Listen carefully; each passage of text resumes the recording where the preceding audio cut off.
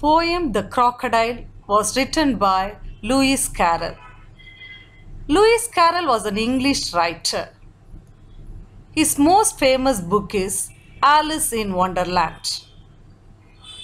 This poem appears in it. Crocodiles are large aquatic reptiles that live throughout the tropics in Africa, Asia, America, and Australia. Crocodiles are carnivorous, which means they eat only meat. In the wild, they feast on fish, birds, frogs, and crustaceans.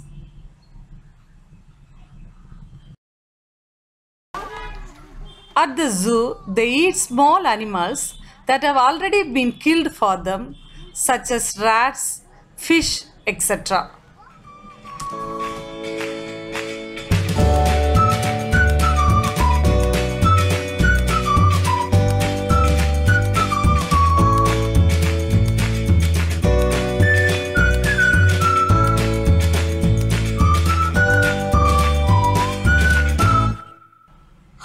Doth the little crocodile improve his shining tail and pour the water of the Nile on every golden scale?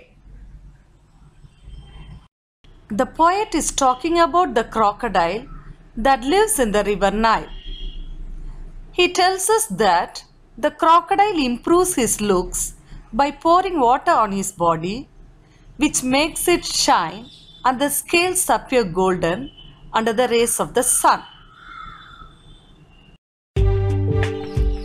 This will make him look very attractive to the fishes that he wants to prey on. How cheerful he seems to grin, how neatly spreads his claws, and welcomes little fishes in with gently smiling jaws. The crocodile shows good manners. He smiles, he is cheerful, he is so gentle, and we just forget that he is a wild beast.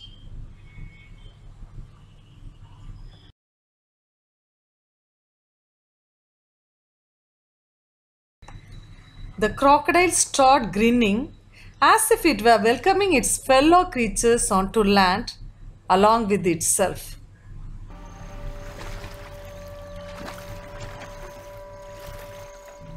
The crocodile also spread his claws neatly. The last thing the crocodile does is to open its mouth wide as if to utter a kindly word. But it in fact swallows up all the fishes that come swimming up towards him.